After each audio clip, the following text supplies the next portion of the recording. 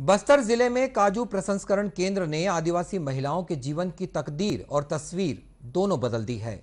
महिलाएँ स्व सहायता समूह के माध्यम से अब अपनी आर्थिक स्थिति के साथ ही दैनिक जीवन शैली में भी बदलाव ला रही हैं। लॉकडाउन और कोरोना संक्रमण के बीच काजू आदिवासियों की आय का एक प्रमुख साधन बनकर उभरा है।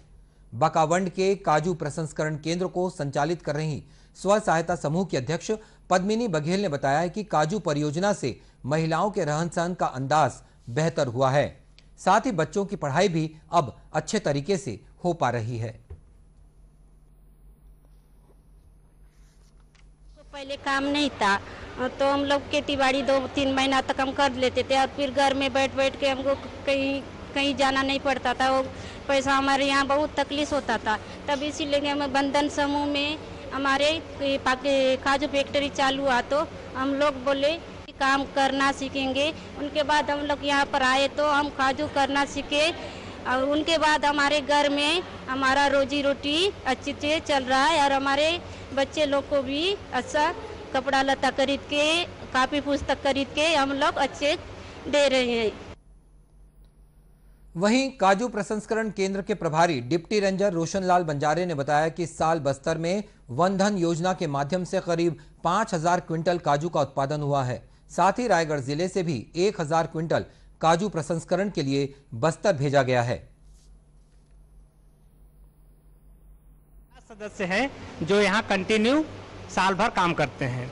इस साल बंधन योजना के तहत यहाँ पर हमको पूरे बस्तर डिवीज़न से पंद्रह समितियाँ हैं। वहाँ से जो है पाँच हज़ार कुंटल का काजू खरीदी करके हमारे गोदाम में आया हुआ है। साल भर के अंदर में पढ़ाई करके उसको देने का है।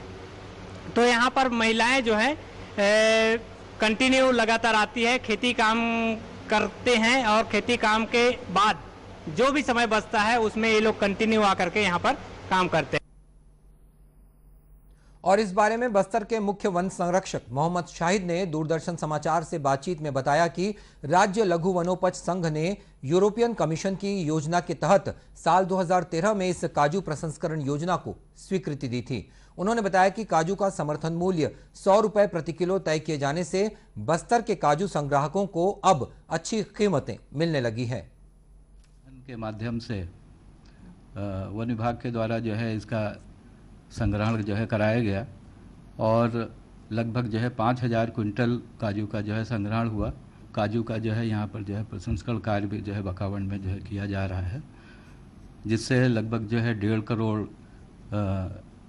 मजदूरी जो है लोगों को जो है दिया जाएगा और 450 महिलाएँ जो है इसमें लाभान्वित होंगी